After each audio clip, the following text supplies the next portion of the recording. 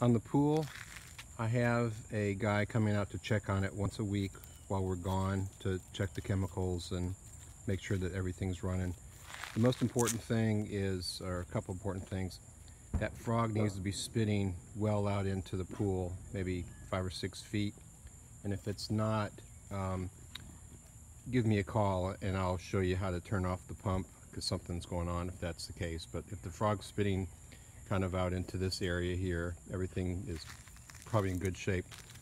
The water level, you can kind of see it's uh, it's about where it needs to be right now. It's a little bit high because we've had that rain, but the, the middle part of those brown tiles is where the water level should be.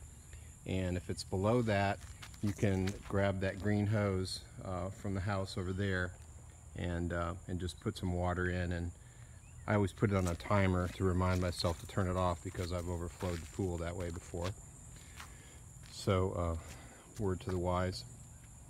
Um, clean out the tramps, there's three of them.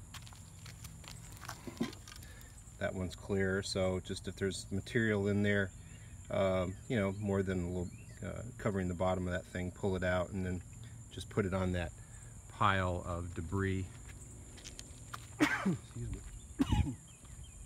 behind the bushes there, over there just beyond that uh, chase lounge. And then the other uh, trap is here. And then there's another one right over there. And um, there's also a filter bag that I showed you on this Polaris uh, cleaner that you can just uh, un undo it. It's got a Velcro top. Um, it's best to do that um, when it's not running, which is between I think 10 a.m. and 1 p.m. So uh, first thing in the morning is not a bad time to do that if it needs cleaning out. And uh, haven't been a lot of stuff falling in the pool lately, so um, it's been uh, staying in pretty good shape. And as always, just uh, call me if you have any questions. Thanks.